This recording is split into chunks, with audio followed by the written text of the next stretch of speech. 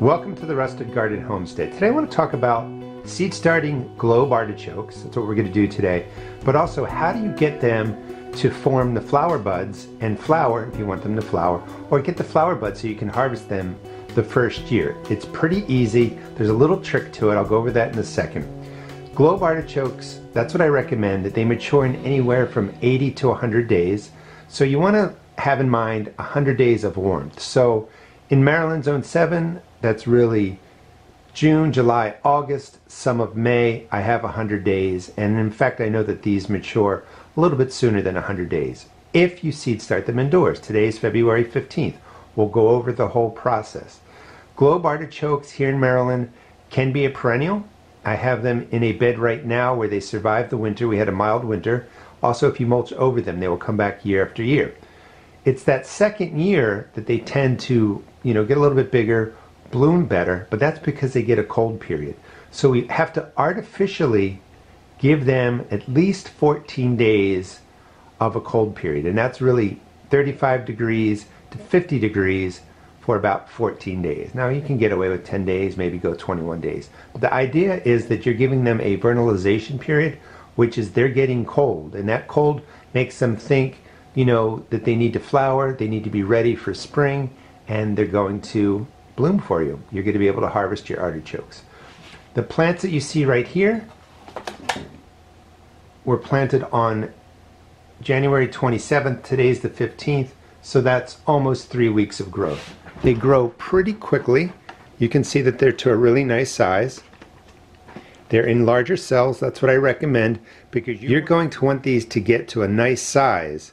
And if you can get a good eight weeks growing indoors, getting that two week cold period, they're going to definitely produce flower heads for you. You'll be able to harvest them and you know you'll have maturing globe artichokes.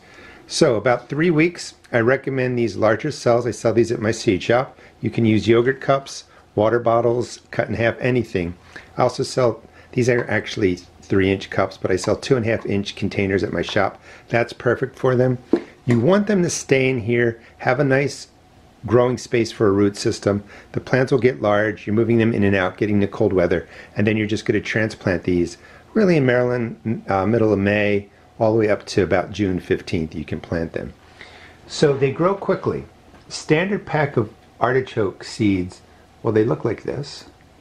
You don't get that many of them, so you're only going to be putting one per container. You can check out all my videos. Every year I do a whole series on starting seeds indoors. Then I go outside, plant, tend, care for it, the garden, show you how to take care of insects and pests, everything, the whole nine yards. If you want to subscribe and follow me, I'll show you how to grow food and have a good time. So these are the six cells. I just drop one seed per, and it's actually usually, last time I did this, it was about 12 seeds. So there's 11 seeds here. And we're just going to put them right into the center Again, please subscribe and I'll show you how I plant these into the garden this year. But just FYI, you want to plant these three to four feet apart. They do get three to six feet tall. They will get about four feet wide. So you need to give them a little bit of space.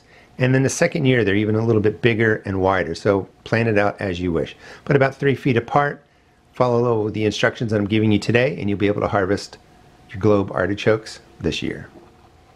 And again, this is about three weeks of growth right over here push them down quarter of an inch to a half an inch. That one wasn't quite in the center.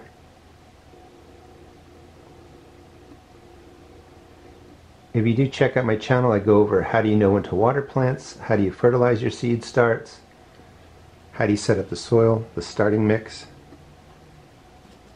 But you get the basic idea for the globe artichokes. So you have time. Starting these definitely in March, That'll give you March, April. That's a good eight weeks of growth.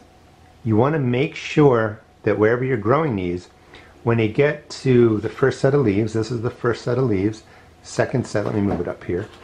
First set of leaves, second set coming out.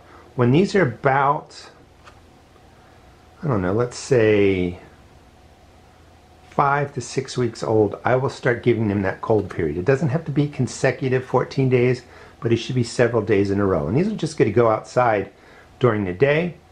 and they'll get the cold period and they're going to form the flower heads, bloom for me, or you'll be able to harvest them.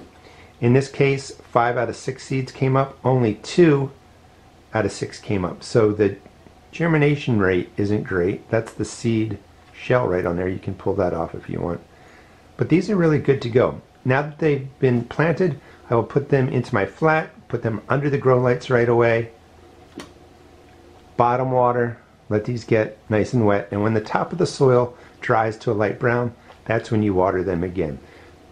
The artichokes are really easy to seed start, really easy to grow, and the globe artichoke variety, sometimes they're called green globe, mature the quickest. So you can sometimes have them mature in 80 days, but you again want that 100 days of warmth.